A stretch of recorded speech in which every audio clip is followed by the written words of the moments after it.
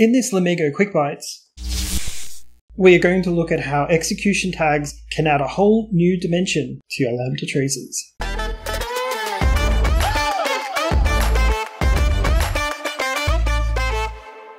Execution tags can be used to identify areas of interest within your code simply by adding a few extra lines of code to your Lambda function.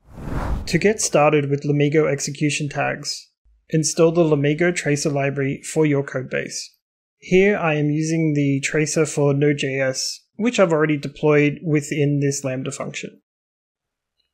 Once the library is referenced in your function's code, you can then set some execution tags at points of interest within your code. It's important to note here too that if you're using manual tracing, that your manual tracing token needs to be included as part of the library configuration. When invoked, the execution tag will be available as a filter point within your Lumigo instance.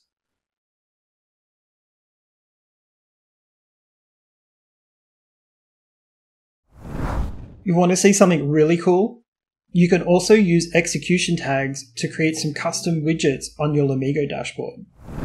To add a custom dashboard widget using an execution tag, first identify a tagged invocation and click on the execution tag required.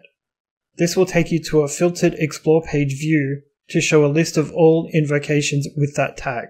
Click the Add to Dashboard button on the top right to create the widget set the widget title, and then select the widget type.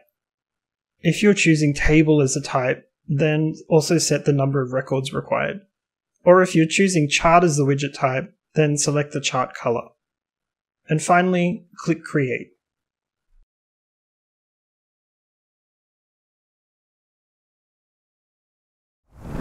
Execution tags allows you to set specific logic breaks into your Lambda function so that you can tell when particular points of interest have been triggered.